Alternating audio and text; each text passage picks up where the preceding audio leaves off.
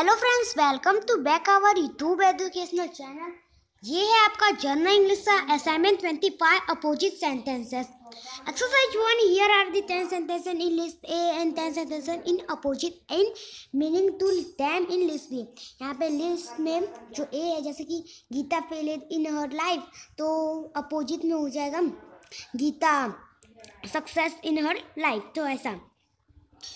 Right the sentences in list B in the same फिर हमें यहाँ पे लिस्ट बी सेम ऑर्डर में लिखना है, यानी लिस्ट ए और लिस्ट बी का यहाँ पे लिखना है। मतलब आंसर जो है लिस्ट बी है, इसके लिए हमें लिस्ट बी का यहाँ पे लिखना है। जैसे Geeta watch reward for politeness तो फिर Geeta watch punish for her politeness तो गीता फेल दिन हर लाइफ गीता अपनी ज़िंदगी में फेल हो गई तो गीता अपनी ज़िंदगी में सक्सेस हो गई।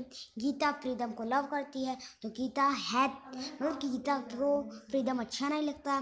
गीता गीता ने गर्म दूध किया पीने से पहले। तो यहाँ पे उसने ठंडा दूध किया, घी पीने से पहले।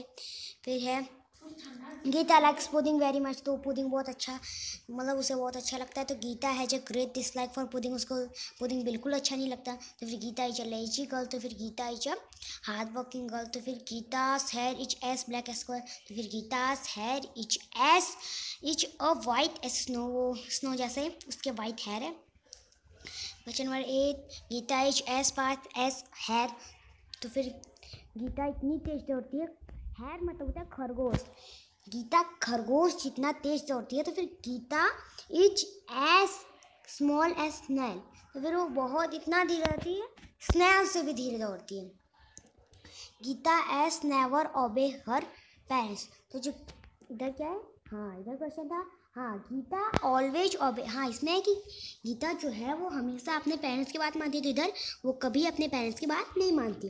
Geeta is as intelligent as an वो चीटी से भी इंटेलिजेंट है। तो गीता इसमें है, Geeta is as stupid as as वो इतनी स्टूपिड है, वो गधे से भी स्टूपिड है।